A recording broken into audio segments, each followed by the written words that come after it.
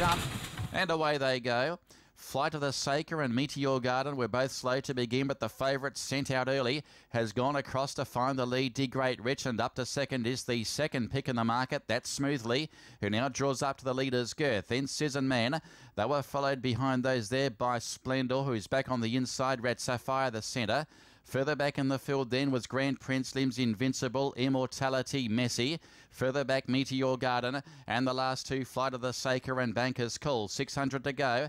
It's now D Great Rich joined again by Smoothly. The two favourites are locked in battle before the home bend. Two and a half Citizen Man. Then Red Sapphire being followed up by Splendor. Then Lim's Invincible, Grand Prince, Immortality Messi. Well back in the field Meteor Garden, Banker's Call and Flight of the Saker. It's the two favourites. They're still going at it, these two. D Great Rich the inside, Smoothly the outside. Now he has to pull the stick on Smoothly. D Great Rich is responding well, though, under El D'Souza. He now draws away from Smoothly. Then Red Sapphire and Splendor is charging up along the inside. D Great Rich is holding on, though. Does enough, I think. Whoa, Splendor got very close to it on the line. It's a photo. D Great Rich and Splendor, a very good effort first up. Red Sapphire was up there for third.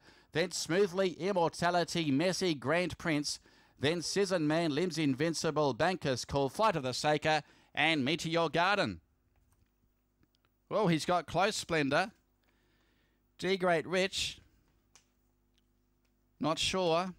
It's a close go, this one. D Great Rich and Splendor was absolutely sprouting wings along the inside. First up for a long time. It's put up a very good effort. D Great Rich. There wasn't a great deal of room getting close to home. Splendor driving up on the inside for young Faisal.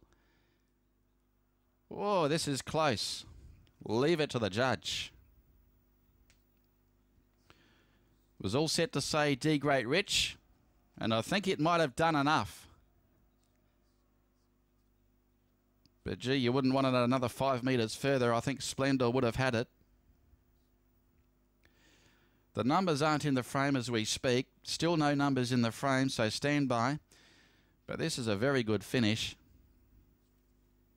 D Great Rich was able to, uh, to find the lead early with smoothly on its outside. Splendor se uh, settling off that leading bracket. So obviously the on-pace runners are dominating today, going by the first three races this afternoon. Smoothly applied the pressure throughout there with D Great Rich. A Citizen Man sat on the speed before dropping away. Red Sapphire also close up. And uh, there's Elder